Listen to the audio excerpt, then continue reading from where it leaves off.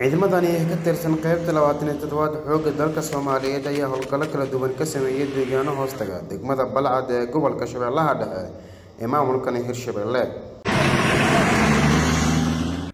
howlgalka ayaa inta uu socday waxaa horkacayay awaanduulaha guutada saddexaad iyo sagaalaad qaybta labaatan iyo toddobaad ciidanka xoogga dalka soomaaliyeed waxaana deegaanada ay howlgallada ka sameeyeen ay kala yihiin isgoyska gololey mareerey iyo deegaano kale oo dhammaantood hoos yimaada gobolkan shabeellaha dhexe. Abaanduulaha guutada saddexaad qaybta labaatan toddobaad ciidanka xoogga dalka soomaaliyeed abshir maxamed maxamuud kaaraan ayaa howlgalka kadib warbaahinta ugu waramay waxyaabihii ay ku soo qabteen howlgalka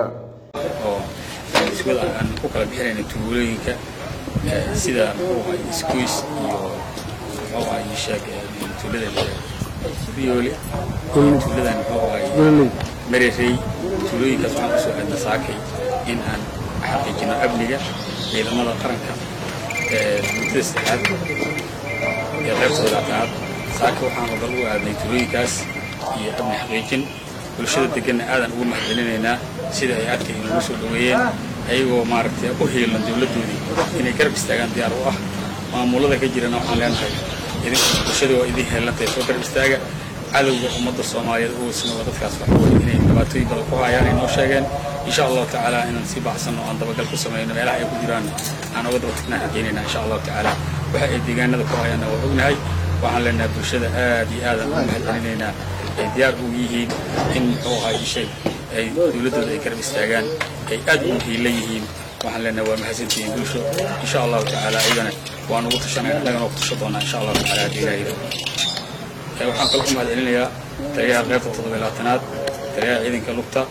iyo taliyaha ciidanka xoogga oo na siiyey fursadaha aan maaragtay aan ku xaqiijinayno howlaha qaranka aan ku filino noo ogolaaday ayagana waa uga mahadcelinaynaa sida aan maantay aan u wajihi karno oo aan hamiga aan leenahay oo ciidanka xoogga dalka soomaaliyeed aan